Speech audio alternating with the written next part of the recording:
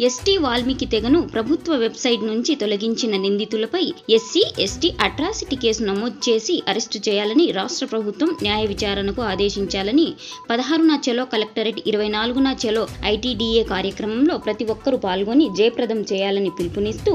డుమ్రిగూడ మండలంలో పలు గ్రామాలకు అవగాహన కార్యక్రమం చేపట్టిన పాంచిపెంట శాంతకుమారి. డుమ్రిగూడ ఎస్టీ వాల్మీకి తెగను ప్రభుత్వ వెబ్సైట్ నుంచి తొలగించిన నిందితులపై ఎస్సీ ఎస్టీ అట్రాసిటీ కేసు నమోదు చేసి అరెస్టు చేయాలని రాష్ట్ర ప్రభుత్వం న్యాయ విచారణకు ఆదేశించాలని కోరుతూ పదహారున చెలో కలెక్టరేట్ ఇరవై నాలుగున చెలో ఐటీడీఏ కార్యక్రమంలో ప్రతి ఒక్కరూ పాల్గొని జయప్రదం చేయాలని పిలుపునిస్తూ డుమ్రిగూడ మండలంలో గుంటసీమ మజ్జిపుట్టు పలు గ్రామాలకు అవగాహన కార్యక్రమం చేపట్టిన ఆంధ్రప్రదేశ్ కాంగ్రెస్ కమిటీ రాష్ట్ర ప్రధాన కార్యదర్శి Araku parliament district incharge Panchipenta Santhakumari ఆమె మాట్లాడుతూ ఆదివాసులకు నిత్యం వస్తున్న ఇటువంటి అనేక సమస్యలపై ప్రతి ఒక్కరూ అవగాహన కలిగి ఐక్యంగా పోరాడి రాబోయే రోజుల్లో ఇటువంటివి పునరావృతం కాకుండా కేంద్ర రాష్ట్ర ప్రభుత్వానికి బుద్ధి చెప్పాలని ఆమె అన్నారు.